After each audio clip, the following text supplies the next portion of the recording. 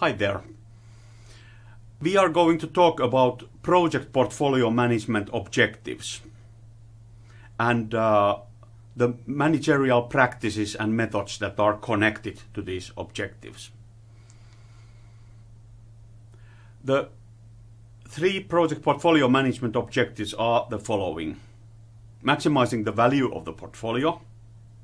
So I want to underline the maximization of the value of the portfolio and not necessarily uh, maximizing the value of each single project selected to the portfolio. Then link to strategy, which means that uh, we are uh, selecting and prioritizing projects that are aligned to strategy, but uh, there is also a, as an aspect that the project uh, can uh, initiate an emergent strategy so uh, the project can renew the uh, firm strategy, so it is not necessarily uh, aligned to the previous strategy, but uh, the future project strategy uh, will be aligned to the project thanks to the project and uh, its power of renewal. then balance in the portfolio. Uh, which means that uh, we cannot, for example, have high uh, reward, high risk projects. We also must have some uh, projects with uh, less risk and for more fire sure profits, even though not that high. we all also must, for example, in new product development, develop products for all of our uh, product families, maybe even uh, some uh, new product families to come, uh, and so on. Then if we have uh, uh, development projects to certain markets, we can develop products for Russian market, for for the US market, and so on. So there must be a um, balance in the portfolio. In other words, we cannot uh, have all eggs in the same basket, but uh, we are really uh, seeking for uh, balance there. Okay, uh, let's look uh, more detail about what kind of methods or practices these objectives might be connected to. So um, when we are talking about maximizing the value of the portfolio, uh, typically companies use net present value and some other investment calculations to understand whether uh, the project itself is uh, profitable.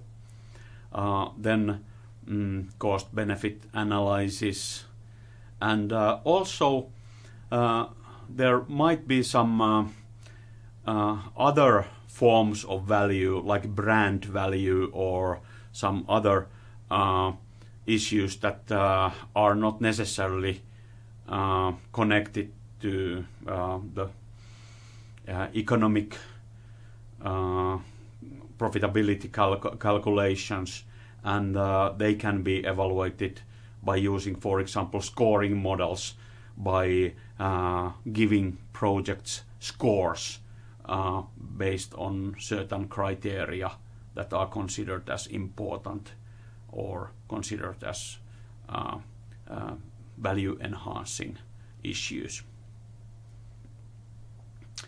Then uh, link to strategy, the second objective. Uh, uh, we can evaluate the strategic fit of a project, whether the project fits to the strategy of the firm. But uh, also we can um, um, look at the whole portfolio and uh, evaluate whether there is strategic priority in a project. So that means that whether the whole uh, portfolio supports uh, the strategy of the firm as a whole, and uh, therefore we might come to a conclusion that certain project with uh, extremely good strategic fit doesn't uh, justify its existence in the uh, company's portfolio because of uh, the whole portfolio um, being more uh, uh, connected to the strategy without the certain, certain project. Then we can have also the top-down approach of linking the projects to strategy by, for example, establishing strategic buckets, which means that uh, we might want to make a decision that we put 10% of our yearly budget to research, uh, 40% to product development, and uh, the rest 50% to developing customer relationship, for example. And if these are the strategic buckets, strategic objectives in a way, then we must find projects to fill in those buckets so that uh, our proportional spending on these areas are uh, what we have decided from looking at, at the top. Then we can also have a bottom-up approach where we, for example, uh, give scores to projects and evaluate their goodness in a way or even very early ideas and initiatives. And uh, in that way we can find out how our existing projects ideas initiatives uh, uh, come to fill in certain uh, portfolio and whether we can build a balanced portfolio based on that. Then um, the balance in the portfolio. So there we can use bubble diagrams. I very soon I show you what the bubble diagram is, uh, strategy tables, and uh, um, these are more or less visual means uh, to help the decision making and uh, to see uh, what kind of a different projects we uh, have and uh, how much uh, spending we are going to put on each of them. So how the portfolio is formed from different kinds of uh, projects that are in balance in in, in certain or against certain criteria. Okay, uh, now we have been talking about the scoring models and uh, selection and prioritization criteria even. Now uh, this picture shows typical criteria that are used in scoring models when managing, for example, development project portfolios. And uh, the words selection or selection criteria and prioritization or prioritization criteria are used interchangeably. So that really means that uh, we are selecting projects and prioritizing them according to these uh, same criteria, typical criteria. So, uh, reward to the company, business strategy fit, then uh, evaluating whether the project leverages the core competencies. So that means if the project has the ability uh, to take use of the company's resources and skills, and in that way build on a solid ground. Uh, probability of market success or commercial success. Market is one important thing. There are customers that are either are Uh, either are willing or not willing to buy, and probability of technical success. For example, can we even make that kind of a project technically? So, opportunity or reward that is often compared to risk, reward versus risk, and then risk itself. How big risk do we have in that project? Well, this picture, uh, this animated picture, uh, shows you what a bubble diagram is, and also uh, it gives you an understanding on uh, what do we mean when we are linking projects to strate strategy and also balancing uh, the portfolio.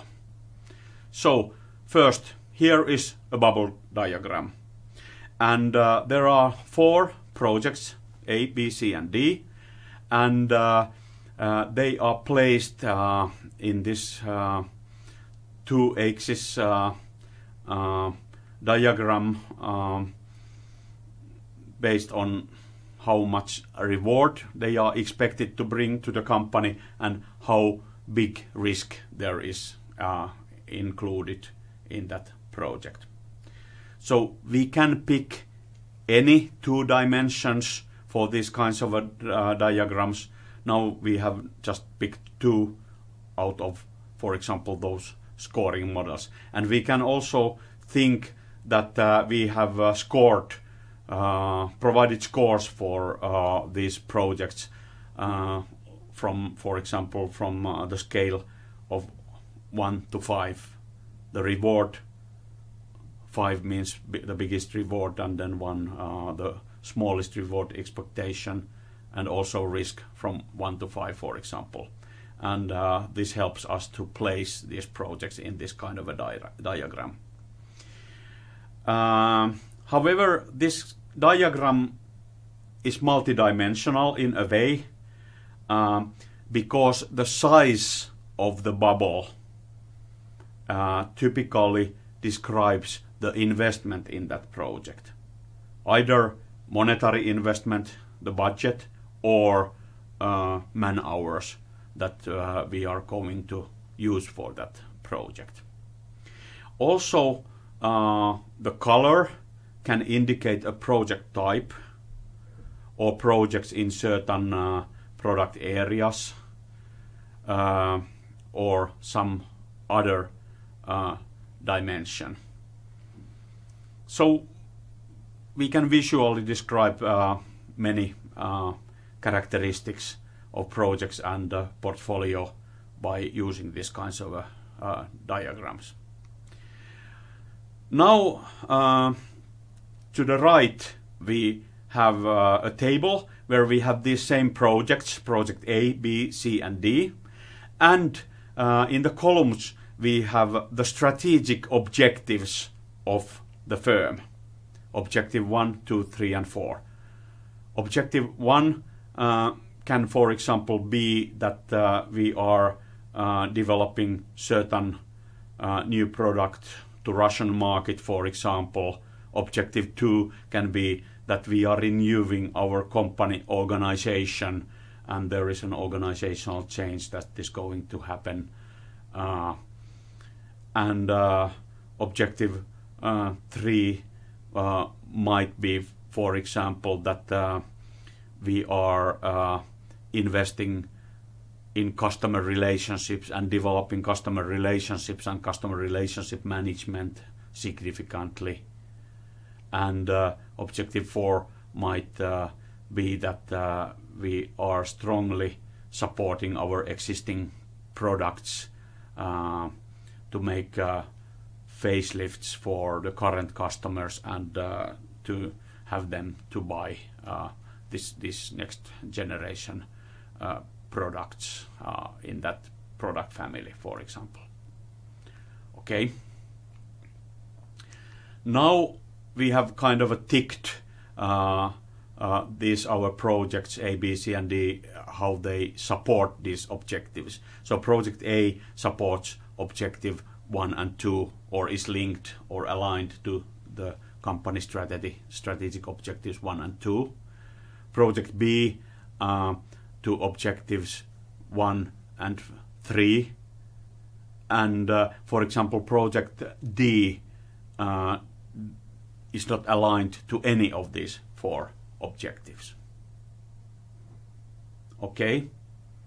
Now, maybe we need a new objective because we have this wonderful project D and there is a big promise in that project that it even renews the company strategy and develops uh, our business to some very important new areas. So uh, we might establish a new strategic objective and in this way, the project D is linked to uh, the company strategy, the new objective of the company.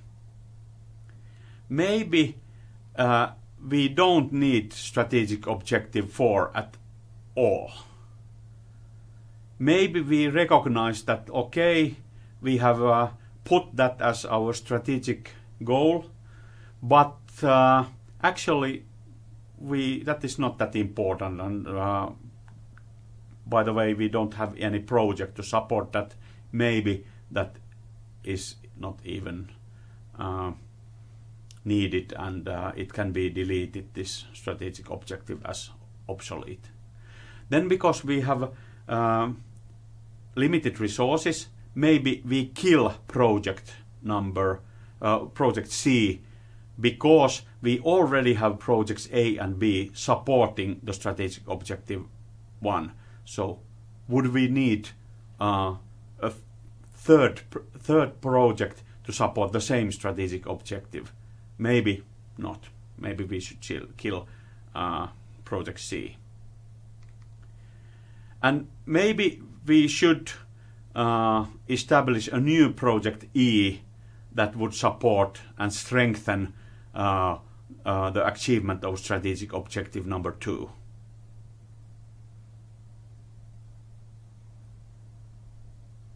So this animated picture, this uh, dynamism here shows you uh, the ideas of uh, how the visualization through bubble diagrams and also through these kinds of strategy tables can be used to understand uh, uh, the management of portfolios and inherent decision making. And I would say that the interaction, communication, and information distribution is, is rather important. And uh, uh, the decision making doesn't only take place based on quantitative uh, calculated scores or uh, calculated net present values or so. Uh, it should really just to ignite uh, the interaction and communication and discussion and understanding more deeply about what the projects are about and what the portfolio management is about.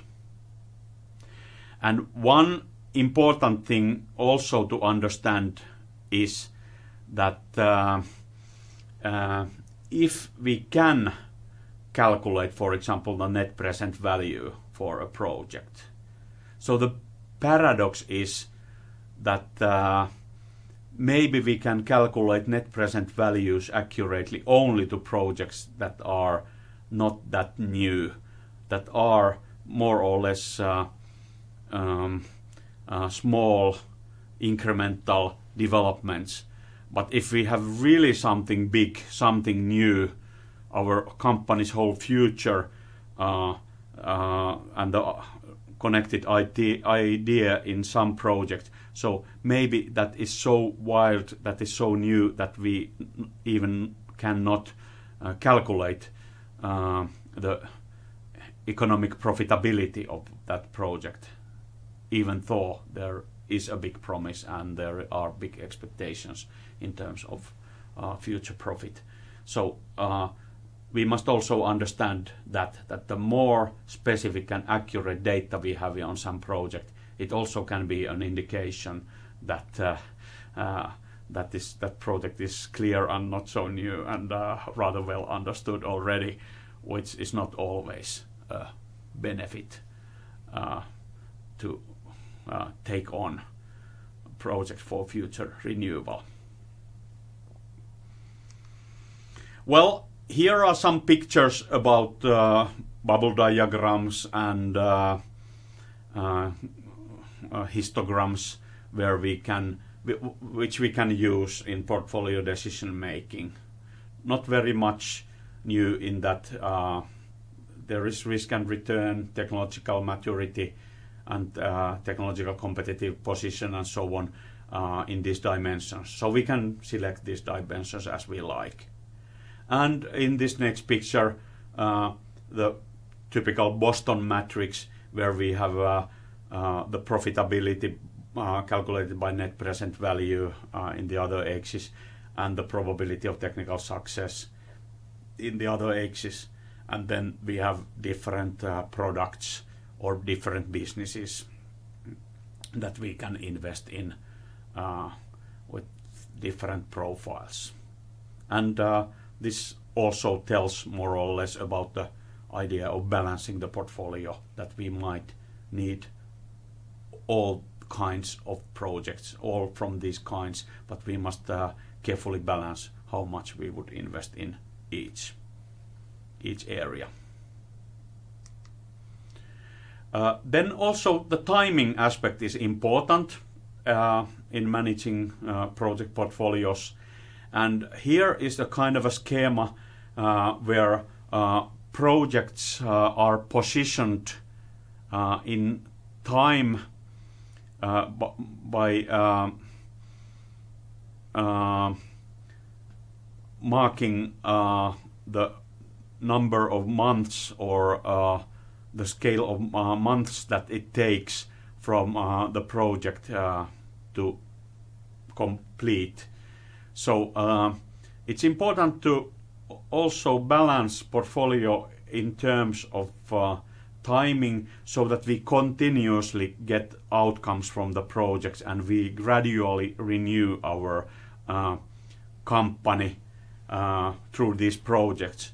So it is not necessarily uh, beneficial to start um, several big projects at the same time that each take some three or four years because it might uh, be that we need some renewal also during the next few years and we should uh, make some smaller projects or uh, smaller improvements in our business uh, during that time until we get those big uh, um, um,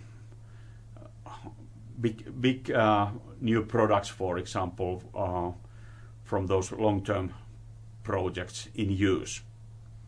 And if we don't have resources enough, so we must then uh, maybe put some uh, really big uh, changes, big projects on hold, and only have few of them and also then have shorter projects to bring uh, the benefit faster.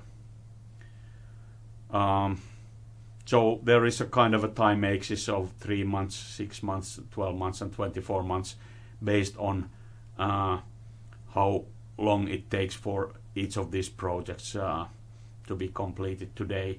And uh, then there are also uh, initiatives or ideas in this left part of the pic picture in the funnel uh, and uh, it typically takes longer for them to uh, get uh, into kind of a into a form of a product that can be for example used in the market and of course when we were talking about timing uh, a typical uh, Gantt chart on projects uh, can always be a good chart uh, to draw to understand what are our ongoing projects, how long they take, and uh, uh, how many projects we are juggling with in our project portfolio management. So I end up uh, this uh, lecture to this familiar chart form and I hope that uh, this lecture about uh, the three project portfolio management objectives and uh, the inherent management approaches and methodologies clarified uh, your understanding about uh, what project portfolio management is, what it can be in practice. Thank you very much. And uh, there are further lectures about project portfolio management. Uh, looking forward to seeing you uh, in those video lectures. Bye now.